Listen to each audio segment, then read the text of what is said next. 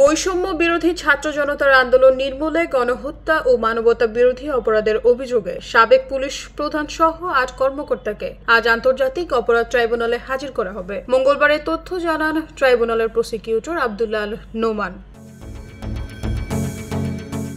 আসামিরা হলেন সাবেক পুলিশ প্রধান Chowdhury Abdullah Al Mamun, national telecommunication monitoring সেন্টারের সাবেক মহাপরিচালক মেজর জেনারেল অবসরপ্রাপ্ত জিয়াউল আহসান, ঢাকা জেলার সাবেক পুলিশ সুপার মোহাম্মদ আবদুল্লাহ আল কাফি, মিরপুর ডিএমপির সাবেক ডিসি মোহাম্মদ জসিমউদ্দিন মোল্লা, ঢাকার সাবেক অতিরিক্ত পুলিশ সুপার মোহাম্মদ শাহিদুল ইসলাম, যাত্রাবাড়ি থানার সাবেক ওসি আবদুল্লাহ হাসান, গুলশান থানার সাবেক ওসি মাজহারুল হক এবং ঢাকা উত্তর ডিবির সাবেক পরিদর্শক মোহাম্মদ আরাফাত হোসেন।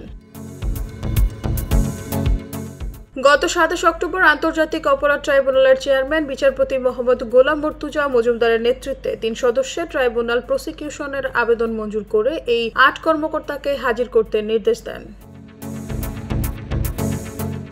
গত পাঁচ জুলাই থেকে পাঁচ আগস্ট পর্যন্ত সময় ছাত্র জনতার আন্দোলনের মধ্যে সারা দেশে গণহত্যা ও মানবতা বিরোধী অপরাধের অর্ধ শতাধিক অভিযোগ ট্রাইব্যুনালের তদন্ত সংস্থা ও প্রসিকিউশন অফিসে জমা পড়েছে। এর মধ্যে একটি মামলায় শেখ হাসিনার বিরুদ্ধে এবং আরেক মামলায় তার পরিবারের সদস্য ও আওয়ামী লীগ নেতা সহ পঁয়তাল্লিশ জনের বিরুদ্ধে গ্রেফতারি পরোয়ানা জারি করে ট্রাইব্যুনাল।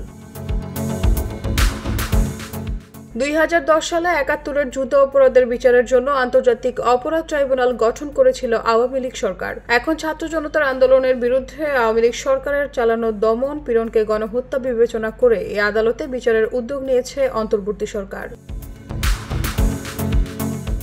নিউজ ডেস্ক ভোরের পাতা।